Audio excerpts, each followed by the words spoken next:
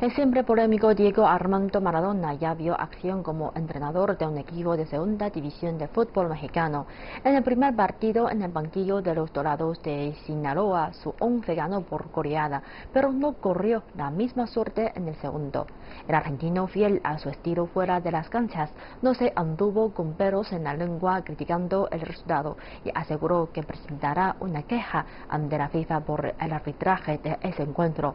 Nuestro corresponsal en México Juan Carlos Aguirre Romero nos ofrece más detalles de esta nueva cruzada del Vive el Oro. No venimos de, de paseo, no venimos de vacaciones. Venimos a trabajar, a darle una mano a los muchachos, pero nosotros necesitamos que la gente esté con nosotros. Si es así, será difícil ganarle a los Dorados de Sinaloa, asegura Diego Armando Maradona. Llega a un equipo de trayectoria, pero que hoy se encuentra en segunda división y lucha por el ascenso. Traen a Diego para trazar las estrategias de un equipo necesitado de nuevos aires, aunque analistas del deporte se mantienen escépticos. No ha ganado un título, solo un ascenso registra en su hoja de vida como entrenador. Yo creo que el tema con Maradona es que no es un buen estratega y tampoco es un buen entrenador, es un gran motivador. Como entrenador debutó hace más de 20 años, desde Sudamérica hacia el Medio Oriente y ahora en Norteamérica. El ex seleccionador argentino es polémico por sus decisiones de vida, drogas, excesos y espectáculos ante los medios. Un show completo que posiblemente levante taquilla, quién sabe si puntos.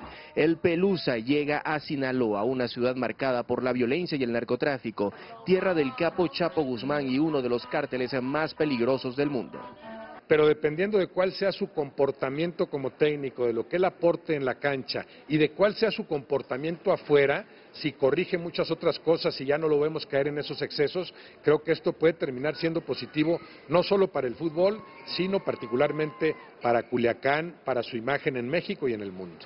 Últimamente Maradona es una persona y las personas estamos llenas de contradicciones. Entonces, eso no le quita lo buen futbolista que fue, pero tampoco podemos dejar de lado que ha caído en muchos problemas, ha golpeado mujeres, eh, tiene problemas con las drogas, tiene problemas con la autoridad, evade impuestos, o sea, no creo que sea el ejemplo que todo el mundo quiere que sea y no tiene por qué serlo. Cuando yo tomaba, tomaba era, era para atrás, era, era un paso para atrás. Y lo que hacer el es ir para. Le haría muy bien a él que aprovechara esta oportunidad de demostrar que también es capaz de ser un buen director técnico y le haría muy bien al fútbol mexicano que Maradona se consolidara como técnico, que fuera México eh, la tierra del fútbol en donde él pudiera ser confirmado como un eh, buen director técnico. Diego Armando Maradona recalcó que antes de llegar a Dorados tuvo varias opciones de trabajo como entrenador en el fútbol argentino y que también le propusieron hacerse cargo de la selección de Bolivia y la de Venezuela, pero rechazó todas las ofertas. Terminó inclinándose por el equipo de Sinaloa porque puede deducirse el pibe de oro desea seguir vinculado al fútbol. Volver al banquillo de una selección nacional será quizás una alternativa que contemplará en el futuro.